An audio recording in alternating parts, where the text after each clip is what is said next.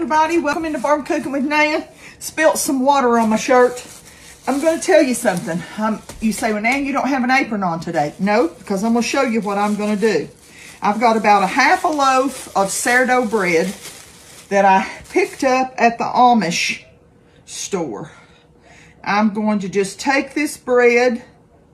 You can use any kind of bread you want to. I'm doing a little bit of a different experiment uh, on doing a uh, Christmas morning dish that I want to be very good and I want to make sure I'm getting the ratios right with everything. So I'm just setting my bread out. Now at this point, if you're running out of time and you say, hey, I need to uh, do this real quick, then you could uh, put this on about 150, 170 degrees, put it in your oven and let it dry it out a little bit. I want it dried out a little bit.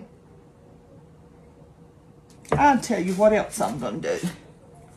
I'm going to go ahead and cut it. See, it's already a little stale, but I'm going to go ahead and cut it in four pieces. You can leave it whole. You can cut it in small cubes if you want to, depending on what you're using. I'm going to go ahead and cut these in, in four pieces. Like I said, I'm always looking for uh, just, I mean, when I use a whole loaf, sometimes it's too much and it's not eat. So I'm cutting down my recipe to see if I can make it a little bit lighter. Maybe not as much sugar or not as much. See, you can tell how stale it is. But it's still, I want it to be very, very stale or, you know, dried out. And then I'm going to show you what we're going to do with it.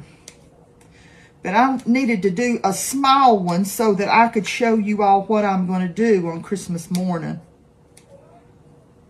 It's one of the things I use. But I'm cutting it down just for you all. Hope you're having a blessed day. And next time you see me, I will have an apron on, I promise, okay? Just to let the old, just to let the, the heat in the kitchen. Sort of dry these out a little bit more. We'll see you whenever I'm ready to do the next step. As soon as I cut the camera off, uh, I thought, you know, usually I do them about one inch, but this year I want to do a little bit bigger. So I'm going to cut them a little bit smaller. There's not, they don't have to all be uniform, you know, but I think that's just a little bit, some of these pieces are a little bit too big, you know. Or if you don't want to do that, you can do whole slices. Sadie's watching me. She says, I know she's got that bread. Maybe she'll give me a morsel. Especially since it's getting close to Christmas. I'm a telling you, I know y'all don't want me to see me cut this up, but I wanted you to see what I'm doing. I'm going to cut it up smaller. Real quick, I'll show you how small I cut them up. About that size. They're more likely, you know, easier to eat when they're cut up that small. Now, let's let it get good and stale. Okay. I'm moving kind of slow tonight because my knee is acting up with this weather and the legs just not wanting to work. So y'all bear with me, okay? Uh, we've got all of our, our bread. You can see oh how tough it is. That's what I want because I want it to where it will soak up all the goody stuff that I'm going to put on there. First of all, get this to where you can see it. I'm going to do five eggs.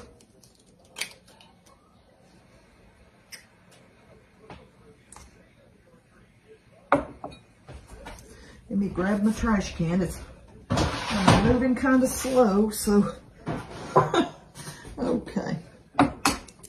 Two.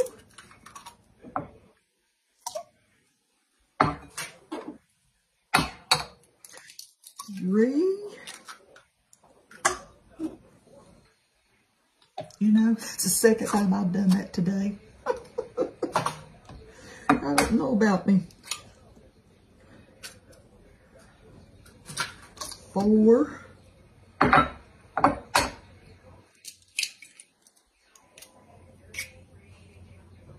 Five. Let me grab my little, my little towel. A little, let me squeeze the water. To clean that egg mixture off there. Okay, the next thing I'm going to do is I'm going to beat that up real good, okay? Just whisk it up.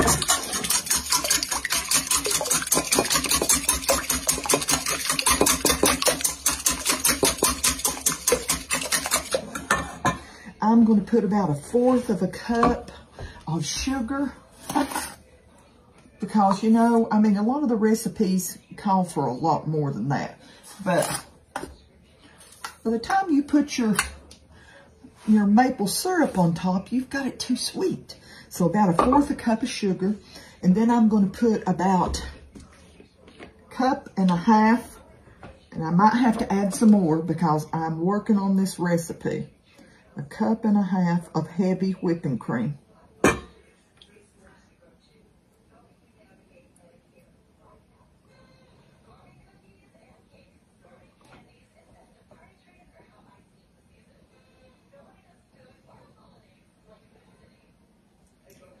That's a cup and a half.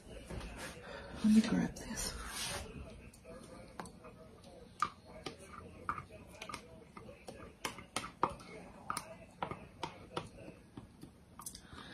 So far, we've gotten five eggs, a fourth of a cup of sugar, and we've gotten um, a cup and a half of heavy whipping cream.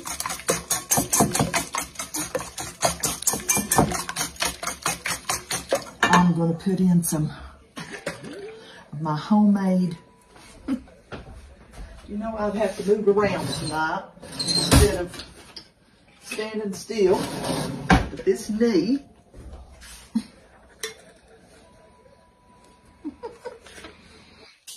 There we go.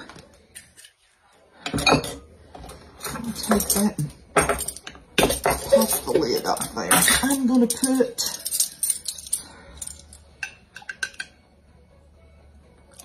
one and a half tablespoons, a little bit closer to two tablespoons is what that was because I like that vanilla flavor.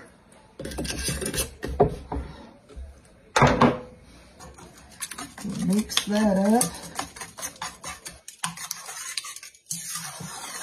And you know, like in the, um, in the next to Christmas, like I said, I'll probably use eggnog next time that I make this instead of heavy whipping cream. I, might split that or I might just use all eggnog. Makes a great little, put my lid back on there. I don't like the air to get to my sugar. Okay, now I've got uh, a really, you know, I showed y'all it's about a half a loaf of this half a loaf. So I'm going to take that, make sure I've got everything in there. I've got my heavy whipping cream. I've got some eggs. I've got some vanilla and I've got some sugar. Now I'm going to take all these and I'm going to coat them. And I'm have cut down this recipe. So I'm trying to half it. I don't go up, I don't double it for a full loaf, but I go up a little bit more on everything.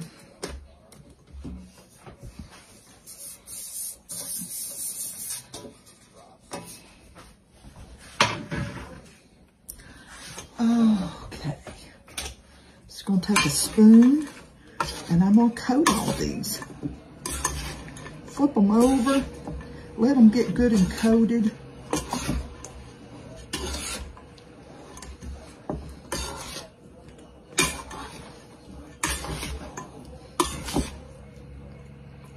Forgot my... Nope, that's right. I did exactly what I'm supposed to do. I've got my cart ahead of my horse, you know. you don't want your um, it to be soggy. You know what I'm saying? You don't want things to be soggy. So whenever I transfer these out of this pot, this pan, into a baking dish, I'll make sure that I get rid of any excess uh, juices or whatever, you know, of the egg mixture and the heavy whipping cream mixture.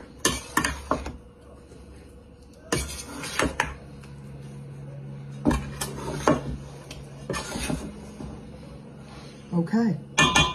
I'm going to cover this up with a piece of foil because uh -oh, plastic will not stick to my metal bowl. And I'm to set this in the refrigerator overnight. And tomorrow morning we'll get up and make the topping that goes on it and we'll bake it. Okay? This can take a little bit longer. Let's get this in the fridge. We'll see you back tomorrow. Okay, let's get the the topping put together. I got a half a cup of packed brown sugar. I'm going to put um, one and a half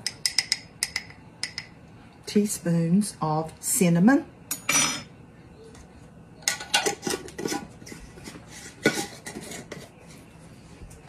Then I'm going to put a half a, let me clean that off around there, a half of a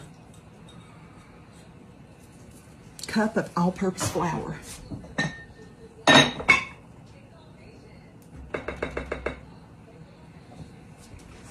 Half a cup of all-purpose flour. Put that over here. You see my sink full of washed up dishes over here. I'm gonna put a dash of salt, pinch of salt, and then I'm gonna put um,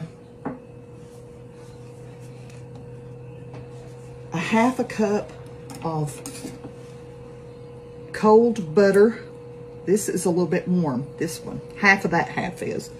I'm using what I got.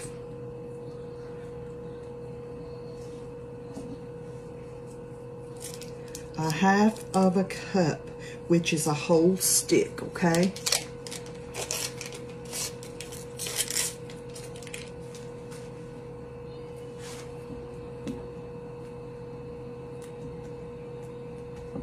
Okay, now I'm going to take my old, uh,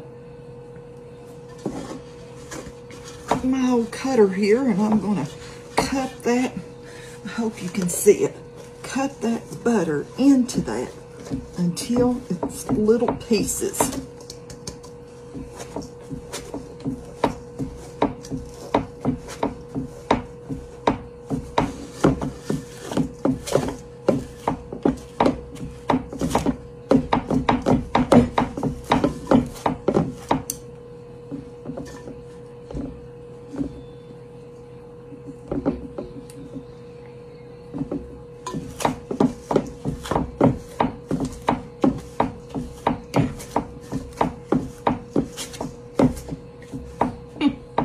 This old one is a little loose, you know what I'm saying?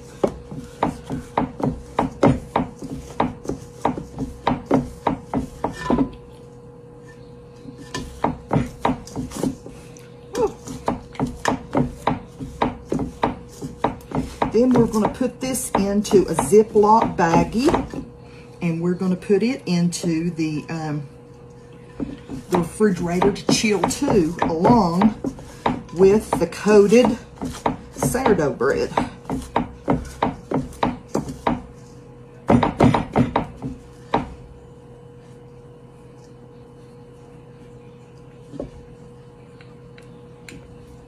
You can see I've cut it up into little pieces.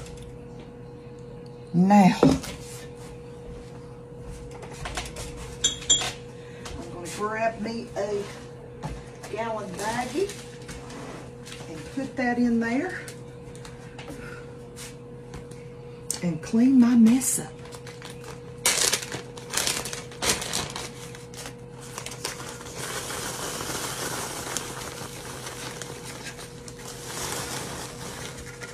And I'm going to get up every little bit that I have shaken out.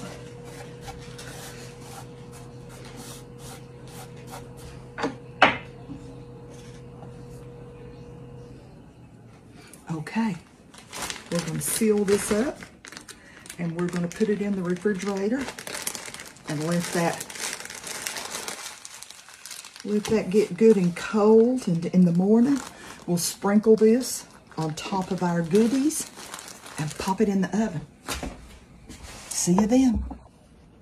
Okay, it's morning and I'm back and I'm getting ready to coat the inside of my dish. I don't want my goodies sticking to anything, do I? If you don't know what this is, this is my pan coating that I did. If you'll go over to my page, watch the video on how to make it. It's pan, Baker's pan coating. Okay. Love this stuff. Can't live without it. Okay. Now, I've got my my bread all here. And I am going to make sure I've got so many. If you can tell, I've been cooking. I've got a sink behind me full of uh, everything in the world. I think this was just enough. Okay, I think that's going to be enough. And it's soaked up. Let me put that right there. It's soaked up everything. Sometimes. I'm going to put this in my dish. A lot of times you will find that there'll be a lot of this left over in the bottom. And if you've got a bunch of leftovers in the bottom, I don't put that in there because we don't want this to be soggy. We want this to be really yummy. Really yummy. Now, I'm going to grab my little crumbles that I want to put on top, okay? I've kept them in the refrigerator overnight. Like I said, you can look behind me and tell this morning, let me grab my cup of water. Uh, it, I've just been doing dishes and everything in the world. I'm going to take my crumbles and I'm going to put them all over my dish.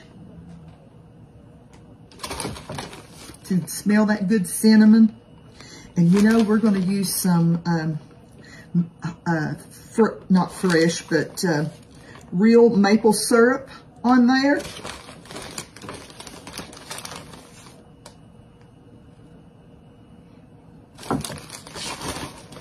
Well, I want y'all to remember that I do this with uh, instead of using the heavy whipping cream or the milk or whatever, I do this. I think that's enough for the crumbles.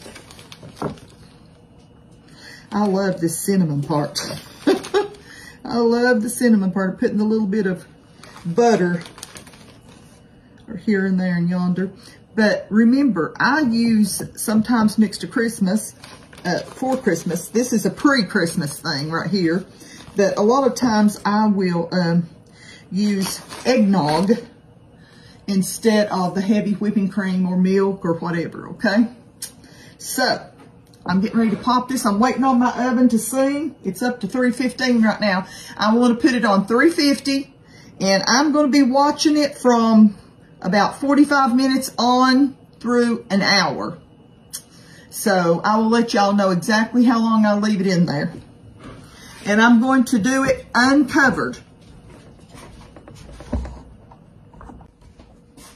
Okay, we're back. Let me straighten up the camera.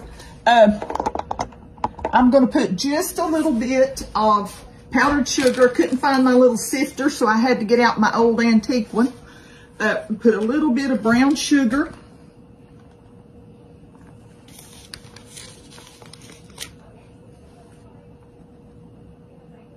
You can do some cinnamon sugar on here too. Some cinnamon in your powdered sugar. Okay.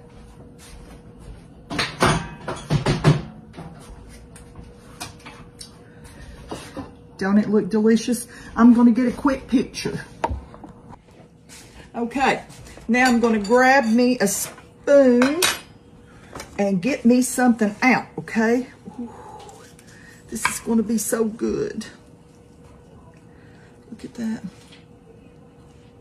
Mm, mm, mm. On my plate. Then I'm going to scoop this down a little bit because it's pretty hot. Pretty hot. I'll scoop that down to there. Then I'm going to show you my beautiful, my beautiful plate and my yummy. I just call it uh, my version of French toast. Christmas French toast is normally what I put it. I've got some uh, Maple Hill Farm Pure New York maple syrup here. And I'm going to put just a little bit. I wish y'all could smell. I wish you had smell-o-vision. My, ooh, yummy. My um, house smells like Christmas. The cinnamon, and you know, I don't drink milk, but during this, when I have this breakfast, I always drink a little bit of milk. It's good for you. My husband is the milk drinker. Uh, I never pay any attention. I just cook with it. But, oh, yummy. That looks so good. Have me a nice big bite. I don't want to get my tongue burn off.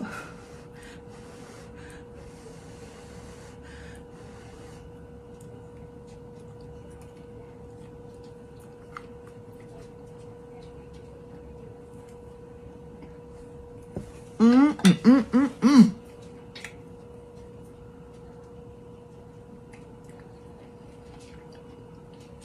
I found the cutest little glasses at every, I call it everything's a dollar. Y'all call it the Dollar Tree. Mmm. I wish y'all were here with me.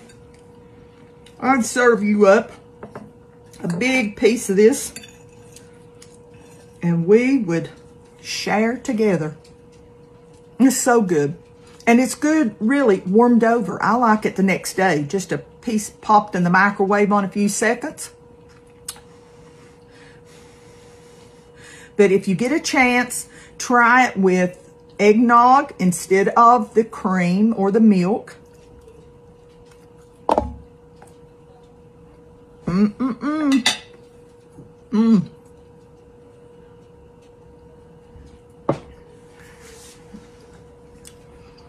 I baked it a full hour because you want to make sure that you don't get to the center of this and have sogginess, okay? If you want to add some eggnog, I mean, not some eggnog, you can, like I said just a minute ago, you can use eggnog. But you want to use some nutmeg, mmm,